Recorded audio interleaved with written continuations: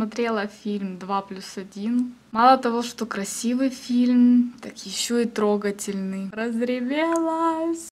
Ой, советую, посмотрите. Знаете, меня часто спрашивают э, об отношениях, как что нужно делать. Я не могу себя назвать экспертом в этом деле, но могу высказать свое мнение, свою точку зрения на тот или иной вопрос, и надеюсь, кому-то это будет полезным. Как сделать так, чтобы мужчина был поглощен именно тобой? Ну, как мне кажется, здесь не поможет никакая хирургия. Будьте просто собой. Не нужно ничего лепить, не нужно ничего выдумывать.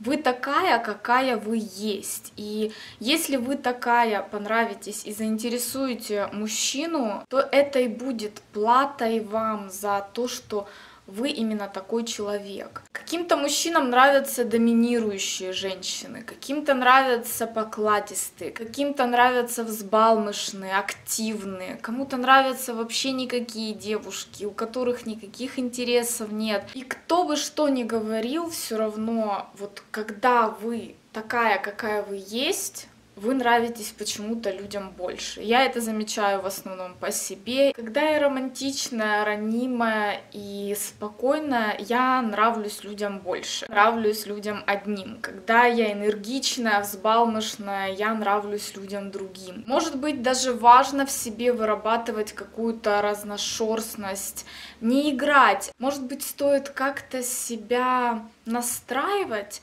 на настроение определенное, потому что жить все время в одном состоянии, в одном настроении, это, мне кажется, грустно. Ну а вы велены делать то, что вам хочется, но не нужно игры. Я уже много раз об этом говорила. Не нужно играть, врать не только себе, но и другим людям, потому что вы все время врать не сможете. Видно мои заплаканные глаза. Только что посмотрела фильм «Космос». Очень даже советую, если вы романтическая личность, то этот фильм для вас. Неописуемой красоты фильм. Я жалею вообще, что в кинотеатр не пошла его смотреть. Мне показалось по трейлеру, что это посредственный фильм. Нет, это фильм мотивационный, который дает какую-то уверенность, который заряжает тебя эмоциями, после чего ты хочешь просто идти и делать.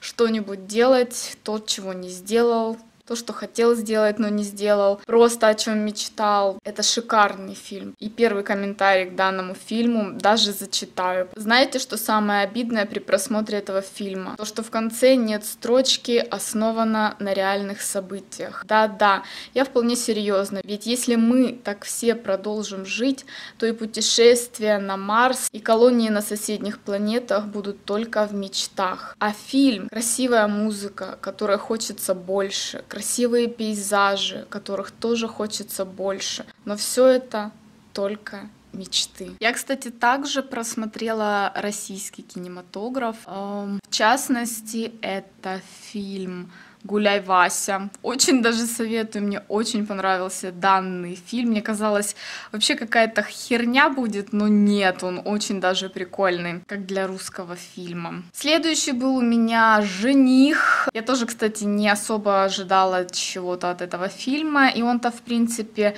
снят так себе, но вот эта вот женщина, которая мужа своего все время гоняла, она действительно вот напоминает большую часть женщин. Я со многими такими женщинами знакома, и бедные их мужчины. Также посмотрела фильм «Одноклассницы», по-моему, «Одноклассницы» я еще смотрела в кинотеатре, если не ошибаюсь. Короче, точно я не помню. Первая часть мне очень понравилась. Что-то по типу «Свадьба в Лас-Вегасе» или как-то так. И вторая часть «Одноклассницы. Новый переворот» тоже ничего так себе. Поэтому к просмотру советую. Да, и вчера мы с молодым человеком досмотрели все-таки фильм, который называется «Открытие». Фильм снят Netflix Netflix. Обычный, какой-то нединамичный, но конец удивляет и тоже советую к просмотру. Вчера была Пасха, если слышно. Колокола. Мы решили пройтись вчера прогуляться. Ветер был адский, мело грязюку со всех сторон, просто не вздохнуть. Пришли домой, короче, мы с грязными моськами. Мы, кстати, не празднуем это событие.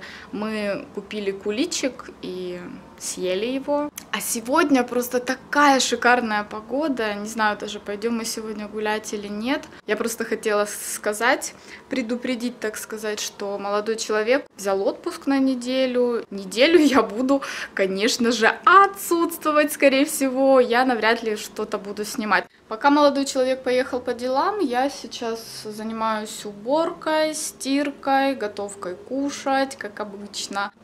Погодка шикарная сегодня, просто прям песня.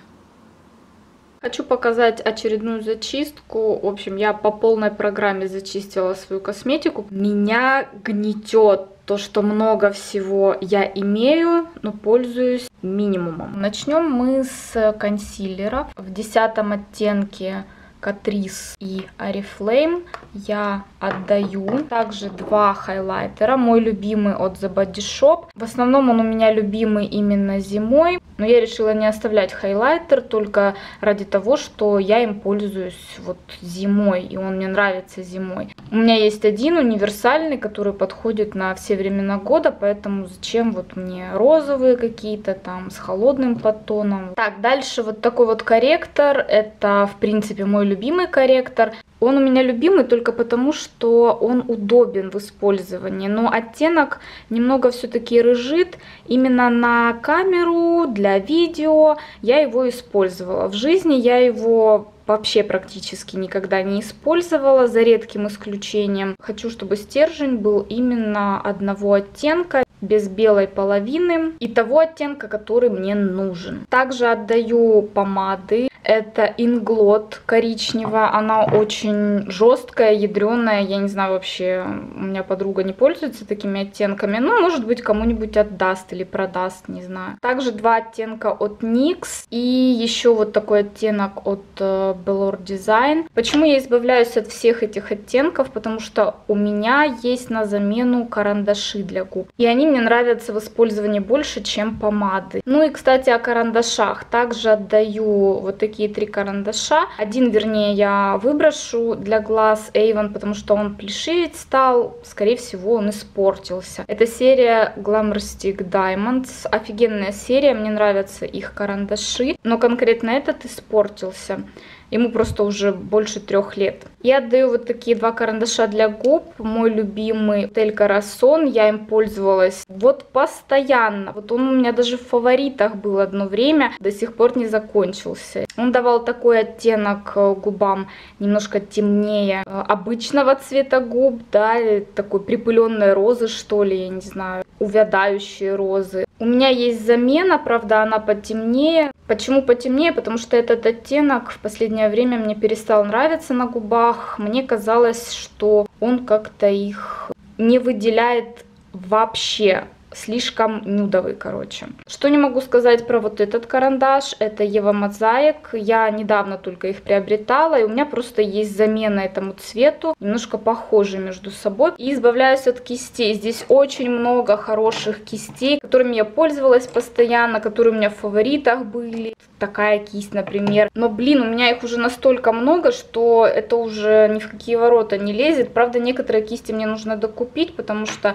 э, скошенная кисть э, здесь вот расшаталась, допустим, я эту буду выбрасывать или отдам, не знаю, подруге, если захочет она подклеивать. Я просто не захотела уже никак их ремонтировать. У меня подруга вообще, по-моему, кистями не пользуется. Вот, может, если захочет, то будет пользоваться. Если нет, то выбросим. Ну, в общем, вот такая зачистка у меня была. Мне очень жалко от некоторых средств избавляться, как и всем девочкам, как и всем, которые любят нахапать, и чтобы лежало это все дома, но нет, я решила, что это не для меня, я хочу именно тот минимум. Пусть у меня будет одна помада, один хайлайтер, я не знаю, одна такая штука, один консилер на все времена года и один карандаш, но я этим буду пользоваться, вот именно буду буду пользоваться вдоль и поперек. А вот это вот, ну пусть полежит, а вдруг пригодится, нет, у меня такое не прокатывает. Так что как-то вот так вот.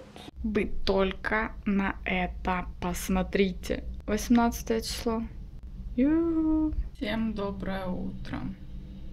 19 апреля.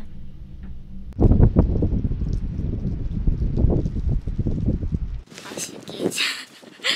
А, как у вас погодка.